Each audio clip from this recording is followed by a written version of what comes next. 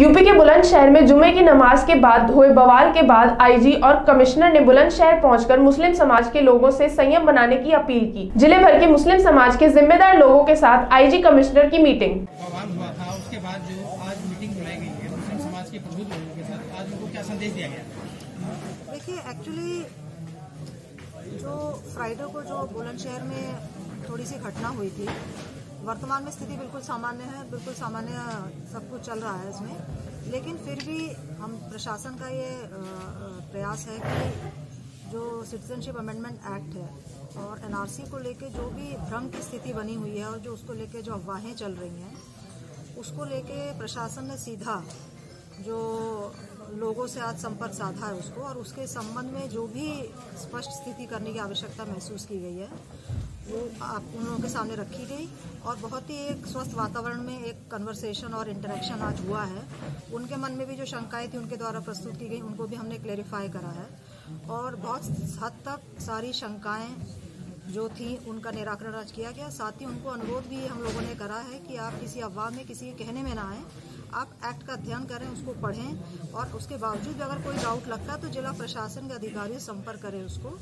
और जिससे कि किसी भी आशंका को लेकर या किसी अफवाह को लेकर, जनपद की कानून व्यवस्था किसी भी तरीके से प्रभावित ना हो। और सब चीज़ सामान्य चलती रहे, शांति व्यवस्था बनी रहे। और वर्तमान में उन लोगों के द्वारा हमें आश्वस्त भी किया गया कि इस तरह की स्थिति अब किसी भी दशा में नहीं होगी और एज ए टीम प्रशासन और आम पब्लिक शांति व्यवस्था यहाँ मैम कल दो दिन बाद में फिर जो है जुमे की नमाज़ अदा होगी उसके उसको लेकर फिर क्या तैयारी देखिए ऐसा है? वर्तमान में स्थिति बिल्कुल सामान्य है प्रशासन की तरफ़ से भी पूरी स्थिति सामान्य संपर्क किया गया सब लोगों से और सबके द्वारा आश्वासन दिया गया है। और मुझे उम्मीद है स्थिति बिल्कुल सामान्य रहेगी कहीं कोई दिक्कत नहीं आने वाली है। और हमें पूरा विश्वास है कि बिल्कुल स्थिति सामान्य मैडम एक्ट को समझाने के लिए कुछ पर्चे बांटे गए क्या? जी। देखिए जिला प्रशासन द्वारा ऐसे पर्चे भी बनाए गए हैं कि उसमें कुछ डाउट अगर पूछे तो लोग उसको पढ़ लें वो पढ़ लें आगे उसका और प्रचार प्रसार करें उसको। तो ये प्रयास है हमारा कि उसके संबंध में जो भी भ्रांतियाँ वो दूर की जाए जिसके मन में अगर कोई भ्रांति है तो। तो मैम ये प्रिया पता चला पाया कि पूरे मेरठ मंडल में ऐसे हालात क्यों हुए? नहीं, देखिए, ऐसा है, वो जो घटना हुई वो लास्ट फ्राइडे की, वो उसमें भारी तत्व भी शामिल थे, कुछ अफवाहें भी थी, सब मिला जुला के होके वो घटना हुई है इसमें, लेकिन वर्तमान में पूरे मंडल में स्थिति बिल्कुल सामान्य है। सब जगह हम लोग संपर्क कर रहे हैं लोगों से और जो भी भ्रांति है उनको दूर करने का प्रयास प्रशासन द्वारा किया जा रहा है। और पूरी स्थिति सामान्य और सामान्य रहेगी कहीं कोई दिक्कत नहीं। इसमें कहीं कुछ मैडम ये निकल करके आया है कि प्री प्लान यहाँ रही शुक्रवार के बाद से और क्या क्या कार्रवाई की जा रही है सर? देखिए ये सभी जगह पूरे प्रदेश भर में और उसमें मेरठ रेंज भी शामिल है। शुक्रवार को जुमे की नमाज़ पे के लिए कॉल थी कि जुमे की नमाज़ और नमाज़ के बाद इस नागरिकता सीए जो हमारा एक्ट है, उस एक्ट के संबंध में लोग अपनी बात कह सकते हैं। और उस, उसी के मध्य नमाज़ के बाद कुछ स्थानों पर लोगों ने एक्ट के कुछ प्रावधानों को लेकर कुछ अफवाहें फैलाने का प्रयास किया, जिसको लेकर कुछ भीड़ उग्र हो गई। तो उस पर न्यूनतम पुलिस बल का प्रयोग करते हुए उस भीड़ को तितर बितर कर दिया गया।